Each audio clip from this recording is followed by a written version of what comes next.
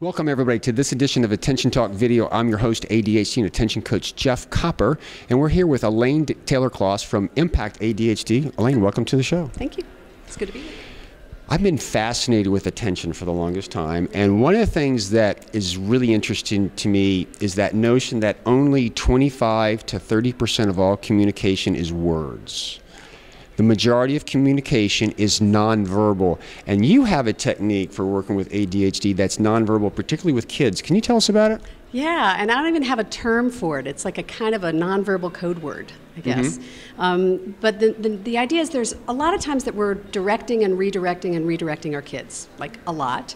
And that gets a little old for them and frustrating for them, and then they get defensive, and then we get annoyed and angry, and it sort of escalates.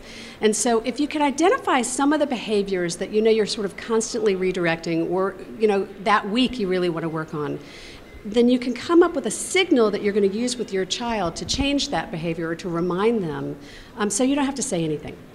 And the, the one that I remember most when my kids were little, I have kids that have a thing about eating with their hands. They mm-hmm. really like to, like, you know, every couple of weeks we would have a finger food dinner. That's, that's not so bad. It's I'm, not bad. I like barbecue just for that well, reason. I'm a southerner, so it works for us, you know.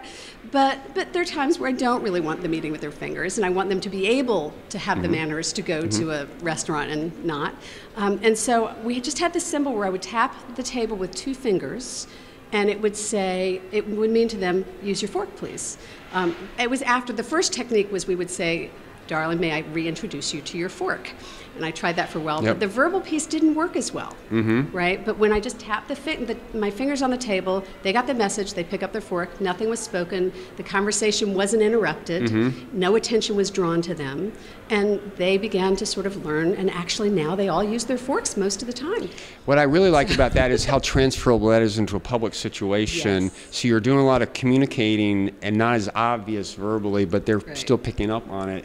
I think it's a little bit of sign language, but still, there's a lot of communication that's takes away the shame. That's it does yes. it does. So there's yeah. there's a lot here. You have to think your way through that stuff a little bit and work with them. But I, you know, just that nag yes. gets to you after a while. I don't I don't want none of us want to nag our kids, and they don't mm-hmm. want to be nagged. But sometimes they don't mind being reminded if we can do it in a way that sort of works for them, or they have some buy-in to the process, mm-hmm. or or whatever. So that's just interesting just a little tip hand gestures is a way to communicate, not to be so naggy. So, yeah. Elaine, thank you so much. You're welcome. To learn more, more about Elaine, go to impactadhd.com. Um, for me, go to digcoaching.com. And if you like this tip or our others, just subscribe to Attention Talk Video. There's a button right below. Hope you've enjoyed this edition. Take care.